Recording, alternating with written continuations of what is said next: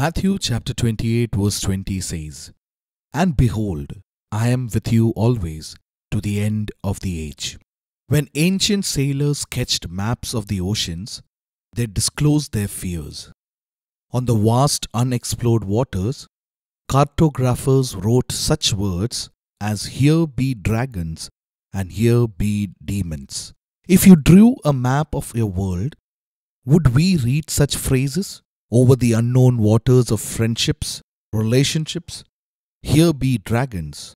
Near the sea of school and classes, here be demons.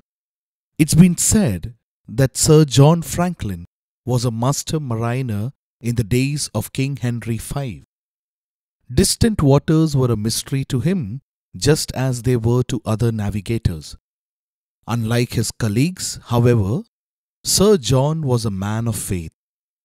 On his maps, he had crossed out the phrases, Here be dragons and here be demons. In their place, he wrote the phrase, Here is God. Mark it down. You will never go where God is not. You may be moved to another class, school, or city, but brand this truth on your heart. You can never go where God is not. I am with you always is something that Jesus promised. Don't be afraid, just believe.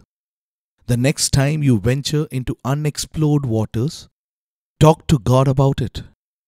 If you're playing a solo at a band concert, writing your exams, appearing for an interview, talking to a classmate about your faith, wherever you are, He is right beside you always.